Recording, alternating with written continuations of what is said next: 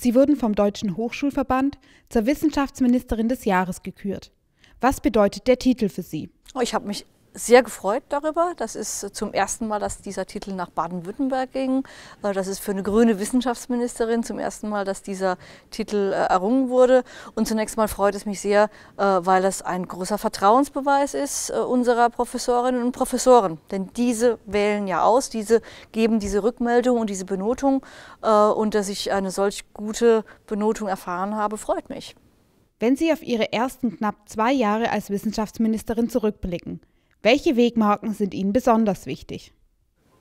In den ersten zwei Jahren haben wir ja schon einiges äh, ähm, erfolgreich auf den Weg gebracht. Wir haben erstens die Studiengebühren abgeschafft und äh, im gleichen, äh, zum gleichen Zeitpunkt äh, in vollem Umfang die äh, weggefallenen Einnahmen für die Hochschulen kompensiert. Und äh, das ist einzigartig in Baden-Württemberg im Vergleich zu den anderen Bundesländern.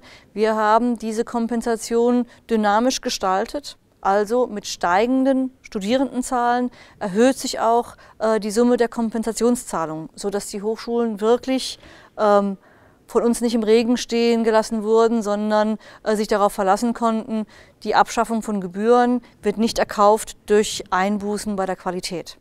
Und zweite wichtige Wegemarke war die Wiedereinführung der verfassten Studierendenschaft, äh, mit der wir sozusagen den Ausnahmezustand von fast vier Jahrzehnten äh, abgeschafft haben und den Studierenden wieder eine organisierte Stimme in den Hochschulen verschafft haben, sodass sie sich in der begrenzten Zeit, in der sie sich an den Hochschulen ja auch nur aufhalten, auch wirkungsvoll und effektiv einbringen können.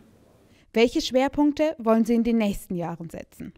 In den nächsten Jahren verstetigen wir den Ausbau der Studienplätze im Bachelorbereich, aber wir schaffen auch äh, verstärkt neue Studienplätze im Masterbereich, äh, denn auch das gehört äh, zu guten Studienbedingungen dazu, dass der Bachelor nicht zur Sackgasse wird. Auch da gehen wir in Baden-Württemberg voraus, in anderen Bundesländern voran, äh, mit dem verstärkten Ausbau der Masterstudienplätze. Weitere wichtige Baustellen sind die Sicherung der Hochschulfinanzierung in einer gemeinsamen Anstrengung von Bund und Ländern, die Anschlussfinanzierung für die Exzellenzinitiative und die weitere Forschungsförderung für unsere Hochschulen. Ihr Ministerium ist ja für die Bereiche Wissenschaft, Forschung und Kunst verantwortlich. Was macht den Reiz dieser Verbindung aus? Wissenschaft und Kunst leben äh, gemeinsam davon, Kreativität und Klugheit in unseren Köpfen zu vermehren. In einem Land wie Baden-Württemberg, in dem wir nicht von Rohstoffen äh, zehren können, sondern äh, müssen wir darauf setzen, dass die Klugheit in den Köpfen äh, vergrößert wird.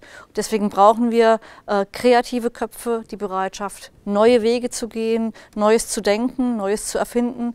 Ähm, Wissenschaft und Kunst leben davon, dass sie in Freiheit am besten gedeihen äh, und die Menschen zu diesen kreativen Leistungen ähm, bringen. Und deswegen ist es gut, dass Kunst und Wissenschaft in einem Ministerium zusammengeführt werden und eben diese Freiheitsräume der Gesellschaft äh, vorangebracht werden.